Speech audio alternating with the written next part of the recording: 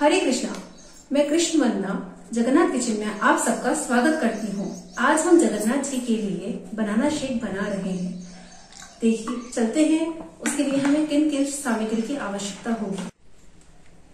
ये हमने केला लिया है, इलायची पाउडर, पिस्ता, काजू, दूध में हमने केसर के कुछ रेशे भिगो दिए हैं, चेरी, वनीला आइसक्रीम आठ से दस बादाम हमने लिए हैं, जिनको हमने चॉप कर लिया है।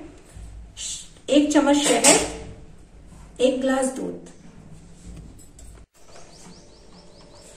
चलिए, शुरू करते हैं। सबसे पहले इसमें हम बनाना डालेंगे।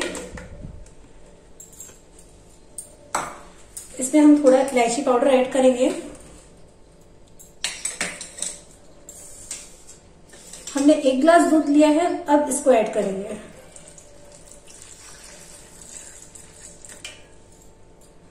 शहद हमें ज़्यादा नहीं डालना है, क्योंकि ऑलरेडी ये बहुत मीठा होता है, केले की खुद की एक मिठास होती है, इसलिए हमने इसमें थोड़ा सा शहद ऐड किया है।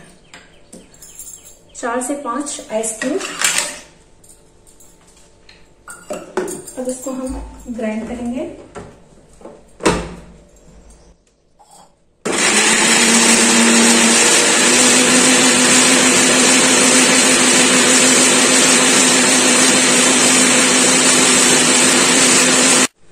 चलिए, अब इसको हम सर्व करते हैं। सबसे पहले हम इसमें वनीला आइसक्रीम डालेंगे। दो बड़ा चम्मच।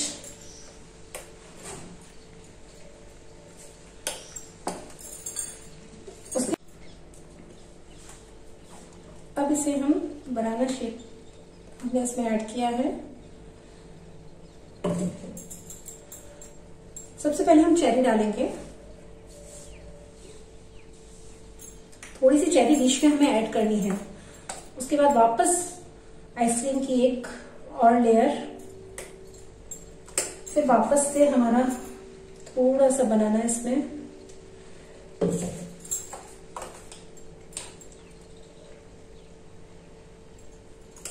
अब इसकी हम गार्निश करेंगे। ये हमने बादाम डाले हैं। काजू ऐड करेंगे। पिस्ता ऐड करेंगे इसमें हम। ऊपर से हम थोड़ी सी चेरी और ऐड कर देते हैं।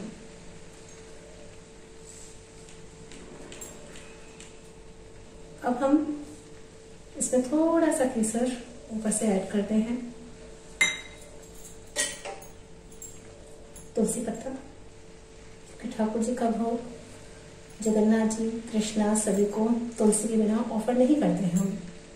चलिए, अब हम अपना बनाना शेक जगन्नाथ जी को ऑफ़र करते हैं। आपको वीडियो ये अच्छा लगा हो तो प्लीज़ लाइक करें सब्सक्राइब करें और शेयर करें। हरे कृष्णा।